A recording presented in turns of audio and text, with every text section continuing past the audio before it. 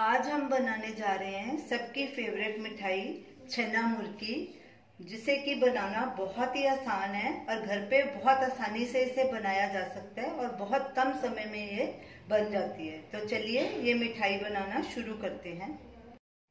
अगर आपको मेरी रेसिपी अच्छी लगे, हमारे वीडियो को लाइक कीजिए शेयर कीजिए, हमारे चैनल को सब्सक्राइब कीजिए। ये हमने 250 ग्राम फ्रेश पनीर लिया है और उसके ऐसे छोटे स्क्वायर पीसेस काट लिए। पीसेस एक जैसे होने चाहिए, ना ज़्यादा छोटे, ना ज़्यादा बड़े। सबसे पहले हम चाशनी तैयार कर लेंगे। ये हमने एक नॉन स्टिक पैन लिया है। गैस को हमने बिल्कुल लो पे रखा है। इसमें एक कप चीनी डालेंगे और आधा कप पानी डालेंगे। और चीनी को मेल्ट होने दे, होने देंगे। और पर्ची लगातार चलाएँगे। गैस को भी हमने लो पे रखना है। चीनी अच्छे तरह से डिजोल्व हो गई है। अगर डिजोल्व होने के बाद आपको पानी थोड़ा मैला लगे, चीनी घुला हुआ पानी तो आप इसमें दो टेबलस्पून दूध डाल के, जो ऊपर झाग आएगी, उसको निकाल के साफ़ कर सकते हैं। तो आपकी चाशनी साफ़ हो जाएगी। अब हम गैस को मीडियम पे कर देंगे और इसे एक तार की चाशनी बनाएँगे। ये हाफ़ टी स्पून इलायची पाउडर है, ये भी ऐड कर देंगे इसमें। इसके बदले आप केवड़ा या रोज वाटर भी डाल सकते हैं। गैस को हमने मीडियम पे कर दिया है, कड़छी को लगातार चलाना है और इसे तब तक पकाना है जब तक एक तार की चाशनी ना बन जाए। हमारी चीनी साफ़ थी, इसीलिए हमें दूध डालने की ज़रूरत नहीं पड़ी। हमारी चाशनी तैयार है। ये देखिए, एक तार की चाशनी बन गई है। ऐसे एक तार बन रही है। ये देखिए।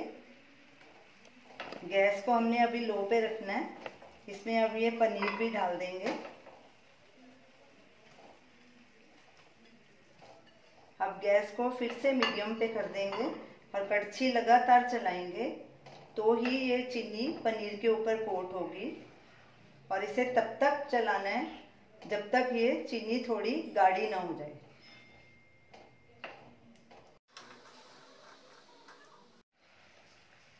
इसे लगातार स्टर करते रहना है जब तक चाशनी गाढ़ी नहीं हो जाती, जमने की कंसिस्टेंसी में नहीं आ जाती। चाशनी जमने की कंडीशन में आ गई है। ये देखिए, इसका कलर भी दुधिया हो गया है।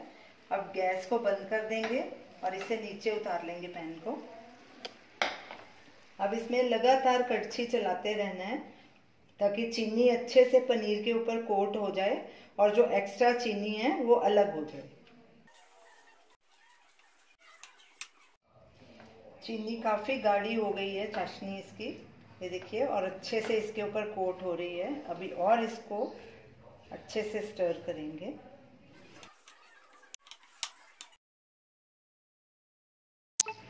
सारे पनीर के टुकड़ों पे चीनी देखिए, अच्छे से कोट हो गई है और जो एक्स्ट्रा चीनी थी वो अलग हो गई है। अब हम इसके पीसीज एक बोल में निकाल लेंगे। ये देखिए, कितने अच्छे से कोट हुई है।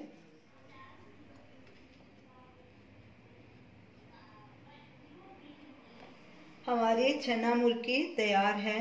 जो ये चीनी बच गई है, इसका आप दोबारा यूज़ कर सकते हैं। चाय में इसे डाल सकते हैं या दोबारा छना मुर्की बनानी हो तो उसमें भी ये चीनी यूज़ कर सकते हैं। और किसी भी काम के लिए चीनी जिस हलवा बनाना हो तो उसमें यूज़ कर सकते हैं। तो ये रही हमारी आज की रेसिपी छना मुर्की देखा इसे बनाना कितना आसान है और बहुत कम समय में ये बन जाती है।